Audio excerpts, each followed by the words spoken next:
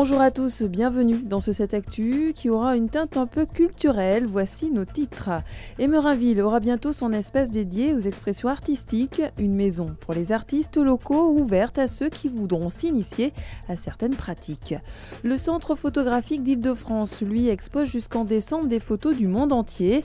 Pas de thème précis, mais un travail sur la forme et la relation avec d'autres modes d'expression.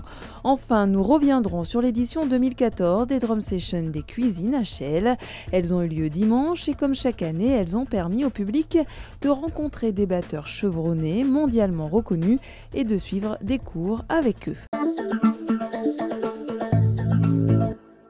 Il y a encore quelques jours, il restait quelques traces de pas, quelques finitions à faire. Mais tout devrait être prêt pour l'inauguration de l'espace d'expression artistique d'Emerinville. Situé à côté de la salle François Villon, ce lieu sera dédié aux artistes locaux, une façon pour la mairie de mettre en avant la culture, et c'est elle qui a financé le lieu, mais le maire Alain Kellior est direct.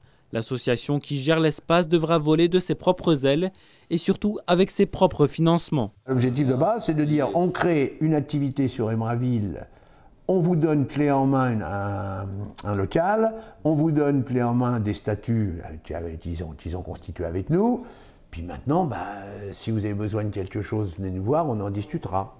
Parmi les premiers occupants de l'espace, Jean-Marie Dudilleux. Responsable dans une entreprise de vente à distance, il est aussi artiste peintre amateur.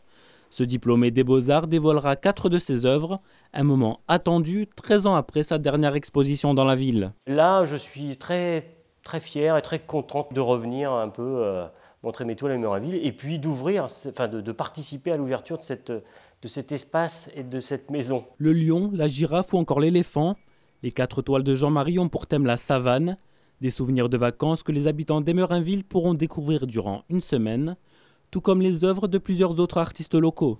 Le but, c'est à la fois de rassembler ceux qui voudront bien venir avec nous dans cette association, c'est euh, de rencontrer euh, d'autres associations, de faire des échanges et de permettre peut-être aussi à des jeunes, plus jeunes que nous, de, de venir euh, un petit peu s'initier euh, à la peinture, découvrir certaines choses par le biais d'expositions. L'espace d'expression artistique ouvrira ses portes le samedi 18 octobre. S'en suivront des ateliers, des rencontres pour découvrir l'art sous toutes ses formes. Que serait la Seine-et-Marne sans son employeur phare? C'est un peu en filigrane ce qui ressort de la déclaration du président du département dans un communiqué.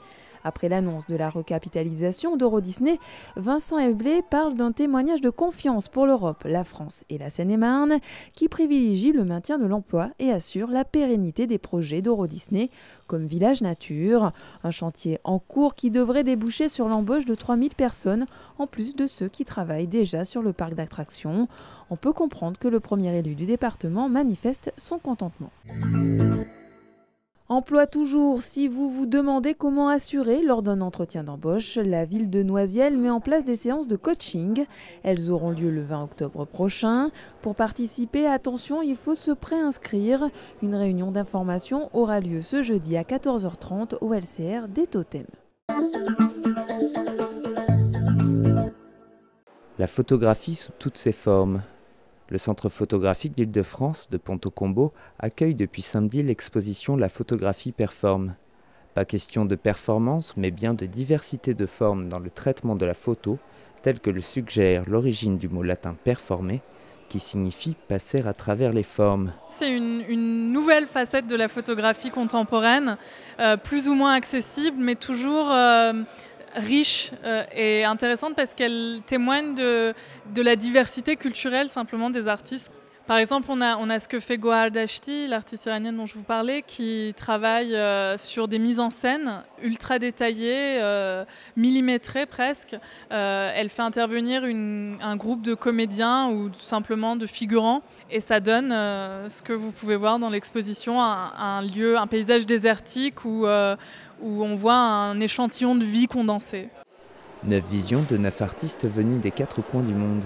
Du désert iranien à Times Square, absurde ou intrigante, ici pas de message ou de manifeste, mais un travail sur le format de l'œuvre. Images, sons et vidéos, tout est bon pour atteindre le public. Je suis bien content de voir des, des pratiques comme ça qui interrogent un peu la représentation de la réalité et aussi comment présenter les photographies.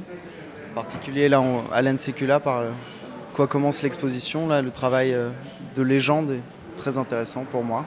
L'américain Alan Sekula, à qui l'exposition rend hommage, était l'un des pionniers de la photographie engagée. L'exposition La photographie performe est ouverte jusqu'au 15 décembre.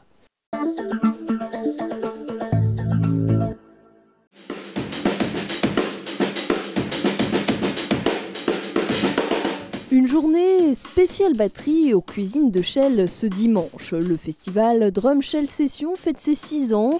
Pour l'occasion, Derek Mackenzie, le batteur anglais du groupe Jamiroquai, a fait le déplacement.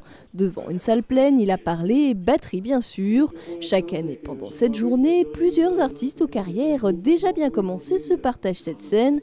Retour sur les Masterclass 2014. Traditionnellement, on ouvre toujours la drum session par un artiste local. Là, c'était Gabin Chazot qui joue dans le groupe Soul Faker. Ensuite, on a eu euh, André Secarelli qui est 50 ans de carrière, un des plus grands jazzman français. Formidable. Derek Roddy qui a débarqué euh, hier de Miami. Euh, qui est un batteur excellent de métal extrême qui a influencé beaucoup de jeunes générations.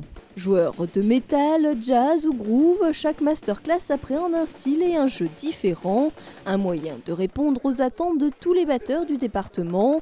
Si ce festival a fait naître en vous une vocation, sachez que la batterie se pratique dès l'âge de 5 ans et qu'il faut compter au minimum deux années de travail régulier pour commencer à bien jouer.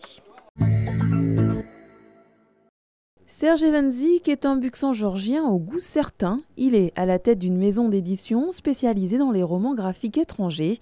Son quotidien, des rencontres, des lectures, des coups de cœur et des coups de pouce. Il dit tout à Lord Vorak dans quelques instants sur le canapé du TR Café de Lani. Il n'y a, que des prises de risques en fait et elles ne sont jamais calculées malheureusement. C'est-à-dire que c'est très compliqué. On ne sait pas dans l'édition si un livre va marcher ou pas. C'est vraiment à Paris à chaque fois. Moi j'ai coutume de dire que, que c'est comme jouer à la roulette. Merci d'avoir suivi ce 7 Actu. Prochaine édition mercredi à 19h.